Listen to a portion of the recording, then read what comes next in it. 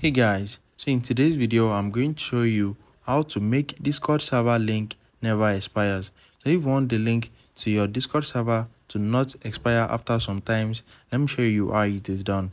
The first thing is open up your discord application and you need to select the server.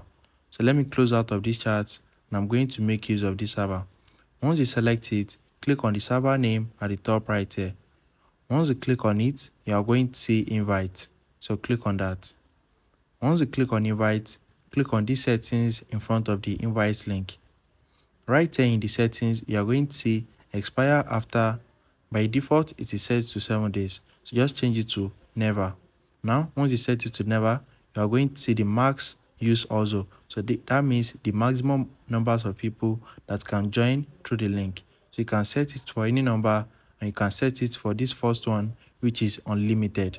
So now click on save at the top right corner and that's it. So now with this link it is not going to expire after some time. So it is going to continue working and people will be able to join through the link. If you found this video helpful smash the like button and subscribe